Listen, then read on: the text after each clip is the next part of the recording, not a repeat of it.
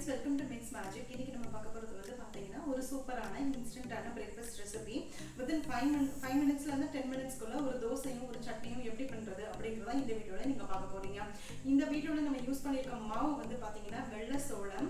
நான் சோள மாவுன்னு சொல்லியிருப்பேன் பட் அது கான்ட்ராக்ட் கிடையாது. வெள்ளை சோளம் அதாவது ஜோவர்னு சொல்லுவாங்க இங்கிலீஷில். இதை யூஸ் பண்ணி எப்படி நம்ம இன்ஸ்டண்ட்டாக ஒரு தோசை வந்து ரெடி பண்ணலாம் அப்படிங்கிறத பார்க்க போகிறோம் இந்த சோள மாவு வந்து உங்களுக்கு கடையிலே கிடைக்கும் பேக்கெட்டாக அரிசி மாவுலாம் எப்படி வச்சிருப்பாங்க அதே மாதிரி கடையிலே கிடைக்கும். அந்த மாவு யூஸ் பண்ணி தான் இன்னைக்கு நான் பண்ண போகிறேன் இது வந்து பார்த்தீங்கன்னா டயட் கான்ஷியஸாக இருக்கிறவங்களா இருக்கட்டும் இல்லை சுகர் இருக்கிறவங்களா இருக்கட்டும் எல்லாருமே தாராளமாக இந்த தோசையை நீங்கள் சாப்பிடலாம். gluten ஃப்ரீ ரெசிபி இது. கண்டிப்பாக வீட்டில் ட்ரை பண்ணி பாருங்கள் வாங்க ரெசிபி அப்படிங்கறத பார்த்துடலாம்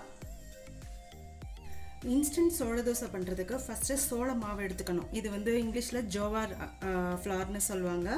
ஸோ அந்த மாவை எடுத்துகிட்டு நான் இதில் ஒரு கப் எடுத்திருக்கேன். இதில் தண்ணி பார்த்தீங்கன்னா ஒன்னேகால் கப்பு ஃபஸ்ட்டு ஊற்றிக்கோங்க ஒன்னேகால் கப்பு ஊற்றியாச்சு ஆக்சுவலாக மாவு மிக்ஸ் பண்ணதுக்கப்புறமா நம்ம ஊற்றும் போது இன்னொரு அரை கப்பு நம்ம ஊற்ற வேண்டியது வரும். ஸோ ஆல்ரெடி நம்ம நறுக்கி வச்சுருந்தோம் இல்லையா? ஸோ அந்த க- வெங்காயத்தை வந்து நல்லா கொஞ்சம் இது மாதிரி கசக்கி போட்டுக்கோங்க. கொஞ்சமாக மல்லித்தலை மிளகு வந்து மிளகுத்தூள் வந்து ஒன்று ரெண்டாக நுணுக்குனது ஒரு முக்கால் டீஸ்பூன் மிளகுத்தூள் ஒரு கால் டீஸ்பூன் சீரகம் கொஞ்சமாக உப்பு பெருங்காயம். நல்லா ஒரு விஸ்கர் வச்சு இதை மிக்ஸ் பண்ணி விடுங்க.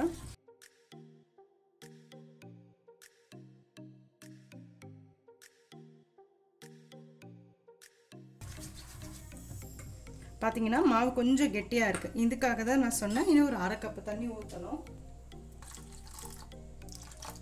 இப்போது இது ஊற்றியாச்சு அவ்வளோதான் மாவு ரெடி இதை மூடி வச்சிடலாம். மூடி வச்சுட்டு ஊரெல்லாம் வைக்க தேவை கிடையாது. நீங்கள் இமீடியட்டாக கூட நீங்கள் போடலாம். பட் நம்ம சட்னி ஒன்று அரைக்கணும் இல்லையா? அந்த சட்னியை அரைச்சிட்டு வந்துட்டு அதுக்கப்புறமா நம்ம தோசை ஊற்றிடுவோம் வேர்க்கடலை சட்னிக்கு அரை கப்பு தேங்காய் எடுத்திருக்கேன்.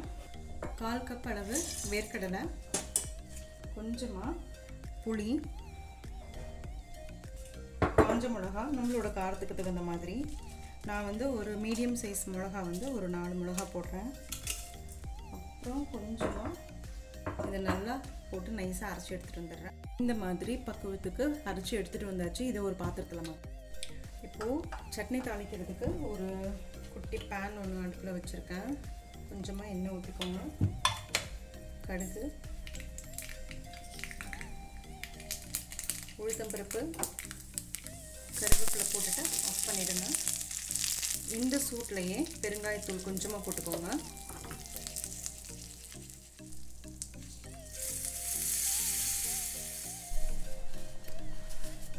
தோசைக்கல் நல்லா காஞ்சிருச்சு. லைட்டாக எண்ணெய் ஊற்றி ட்ரெஸ்ஸில் பண்ணிக்கலாம். பாருங்கள் மாவு நம்ம சோள தோசைக்கு வந்து மாவு கரைச்சி வச்சுருந்தோம் இல்லையா? இந்த மாதிரி ஒரு கிண்ணம் எடுத்துக்கோங்க குட்டி கிண்ணம். நல்லா அடுப்பு வந்து ஃபுல்லில் வச்சுக்கோங்க. ஃபுல்லில் வச்சுட்டு தோசைக்கல் நல்லா சூடாக இருக்கணும்.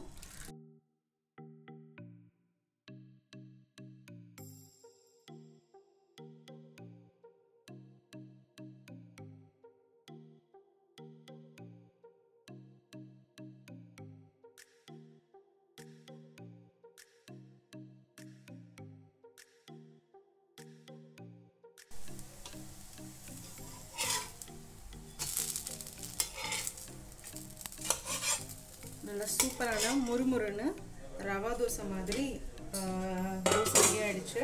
இன்னொரு தோசை உங்களுக்கு ஊற்றி காமிக்கிறேன்.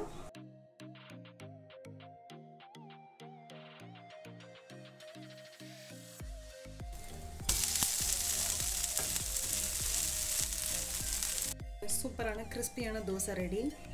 எவ்வளோ கிறிஸ்பியாக இருக்குது பாருங்கள்